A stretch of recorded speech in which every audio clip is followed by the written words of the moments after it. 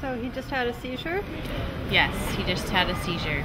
This is our simulation mannequin is what SimMan stands for and we use uh, this mannequin for training purposes to simulate all different types of scenarios in which um, paramedics and training paramedic students would practice scenarios um, to mimic real life scenarios to get prepared for the road.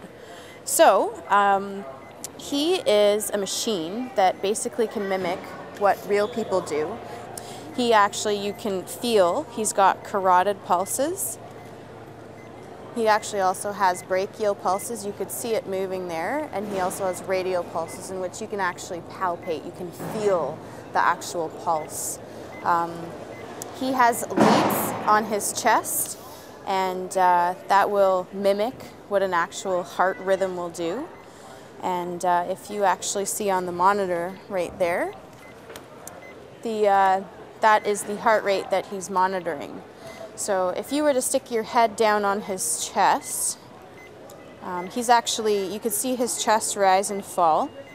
And you can actually, if you stick your hand over top of his mouth, you can feel him exhale. So you can feel breath on your hand. So if you were to stick your head down there, you could actually hear a heartbeat and you could hear lung sounds as well.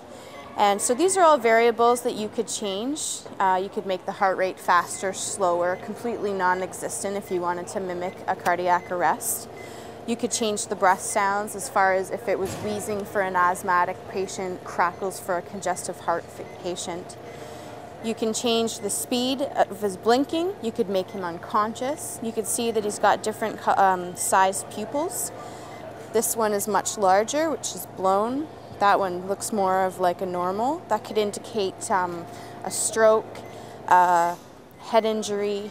So the way that this works is that uh, the instructor or the uh, person who is uh, marking you would sit behind a room, they'd have a microphone, they'd use the computer and set all of their values and create this scenario and the um, student would be on the other side of the room and running this scenario like a real live um, uh, event would be happening.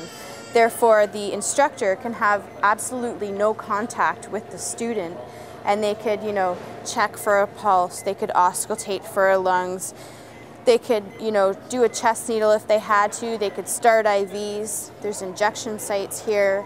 Um, basically, it's a, it's just a great machine that we use. It's new technology that's just come out in the last couple years and uh, it's, it's a great testing material to mimic real life scenarios so that once you get out on the road you can know what the real thing look and feels and sounds like.